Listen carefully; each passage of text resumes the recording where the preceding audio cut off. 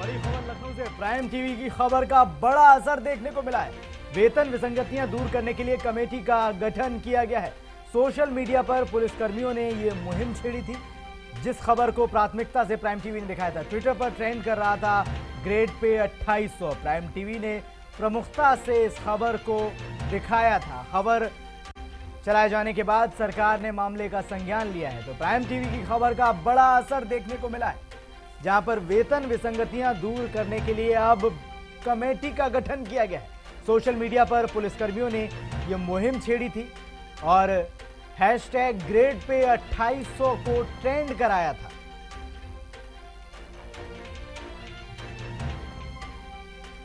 और इस वक्त हमारे साथ विवेक पांडे जुड़ चुके हैं, जो कि इस मुहिम से लगातार जुड़े हुए थे। उनसे समझने की कोशिश करते हैं। विवेक, अब तो आप खुश होंगे ना? सरकार ने आपकी बात मान ली नहीं देखिए कमेटी का गठन कर दिया गया है। तो अब उम्मीद करते हैं। संज्ञान लिया गया। जी। लेकिन मुद्दे की बात यह है कि पुलिस स्मृति दिवस निकट आने वाला है। हाँ।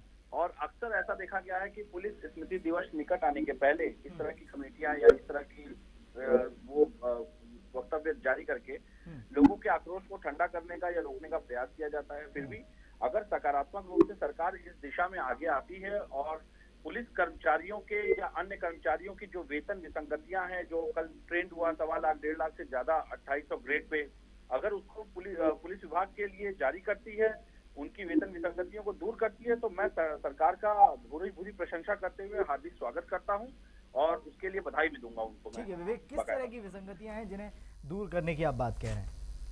देखिए क्या है कि पुलिस की वेतन जो है पुलिस का जो वेतन मान है बेसिकली ये तीसरे वेतन मान से ही अ, काफ़ी अंतर आ गया है। इसमें अध्यापकों का और पुलिस का वेतन किसी जमाने में एक रुपए के अंतर पे हुआ करता था। हम्म, और आज अध्यापकों का अगर आप ग्रेड पे देखेंगे तो जिस प्रकार से अध्यापक कम से कम सैंतीस अड़तीस चालीस हज़ार रुपए पा रहा है और पुलिस का जवान जो है बेसिक उसकी जो सैलरी है वो इक्कीस साढ़े इक्कीस बाईस हज़ार तेईस हज़ार रुपए होती है। हम्म, तो ये जो अंतर है एक पुलिस का पुलिस की वेतन विसंगति में ये बड़ा गंभीर विषय है क्योंकि जिस प्रकार से महँगाई दर बढ़ी है हम्म। और जिस प्रकार से आज परिस्थितियाँ हैं ये बहुत गंभीर विषय है क्योंकि देखिए एक आदर्श समाज के अंदर आदर्श परिवार को व्यवस्था देना भी सरकारों की ज़िम्मेदारी का दायित्व होता है। क्या था मामला ये था तीसरे वेतनमान में तृतीय श्रेणी के जो राज्य कर्मचारी थे उनका वेतन तीन सौ चौसठ रुपए बराबर था। एक दिन की हड़ताल करने के बाद अध्यापकों का वेतन तीन सौ पैंसठ रुपए कर दिया गया एक रुपए बढ़ा करके। चौथे वेतनमान में सिपाही को नौ सौ पचास दिया गया, राज्य कर्मचारियों का बारह सौ हुआ और शिक्षकों का ग्यारह सौ पचास रुपए।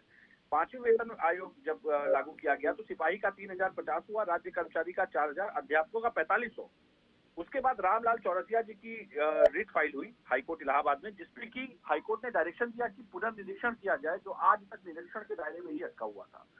और तक उस पर पूरी तरह से जो फैसला या जो कदम उठाना चाहिए था वो सरकार की तरफ़ से नहीं उठाया गया। हम उम्मीद करते हैं कि ये जिस कमेटी का गठन किया गया है जल्द ही इसका कुछ ना कुछ हासिल निकलेगा। बहुत बहुत शुक्रिया विवेक जी हमारे साथ जुड़ने के लिए और अपनी बात रखने के लिए।